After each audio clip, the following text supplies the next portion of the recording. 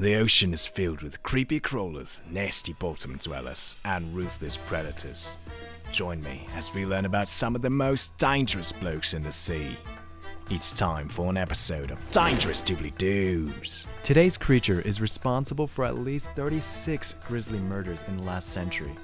Its signature is a very small trail in the sand and overwhelming venom in the victim at the scene of the crime. Its poison is so strong that just one shot can kill up to 10 adult humans, making it one of the most venomous animals on the face of the earth. Welcome to another episode of Dangerous Dooblidoos, where we explore the world's deadliest ocean creatures and hope we don't get stung. Who's that Pokemon? It's the cone snail.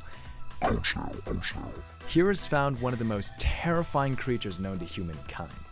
But don't let its small size fool you. With actual rotating treads for moving around, eye stalks for targeting, and a massive loaded cannon, this thing is the closest thing to a biological tank.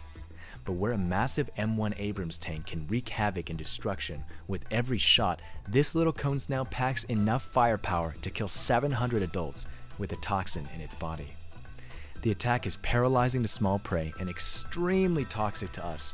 The deadliest cone snail, in fact, found in the Indo Pacific, is called the cigarette snail, so aptly named because it delivers a payload so toxic that you would only have time to finish a single cigarette before passing away.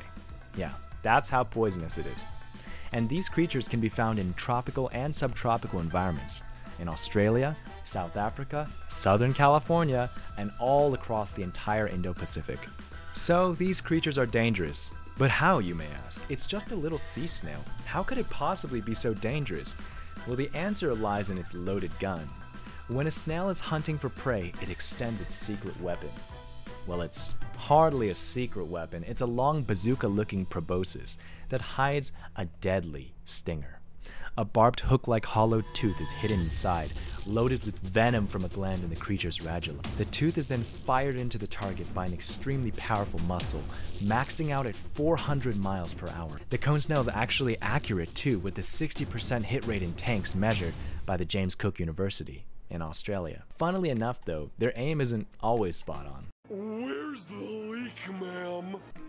An acid trip reduces the cone snail's accuracy in hitting its targets. But when I say acid, I'm talking about carbonic acid from ocean acidification. Get your mind out of the gutter. As our oceans absorb carbon dioxide emissions from our atmosphere, the water and carbon dioxide mixes to form carbonic acid. And data has shown that carbonic acid makes cone snails hyperactive, making them move three times faster than normal. But you would also expect a hyperactive snail to be more deadly, catch more food, maybe be more successful, more energetic, right? Well, it turns out that they catch way less prey because they're so antsy that they run around scaring off their prey instead of stealthily attacking. It's like when you're running out of energy to study and you take a coffee to give you energy, but you're too jittery to study now. Kind of counterproductive. Turns out their stealth is the key to catching prey, and that when they move around a lot, they're actually pretty bad jittery hunters. In fact, even though roughly 60% of the snails maintain a hit rate in the laboratory at the average rate, only 10% of the total snails hit their targets when carbon dioxide levels were significantly increased in the water. Again, this is likely because ocean acidification affects snail behavior. It weakens their shells, yes, but it also makes them hyperactive. This makes them catch less food and need more food to maintain their shells. More activity and less calories is no bueno, and it means that these snails are starving under increasing ocean levels of carbon dioxide.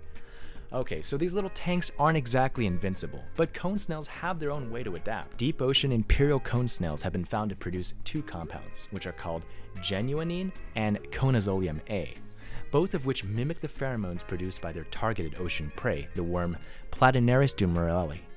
These pheromones attract their targets until they are taken out by the waiting snail's deadly stingers.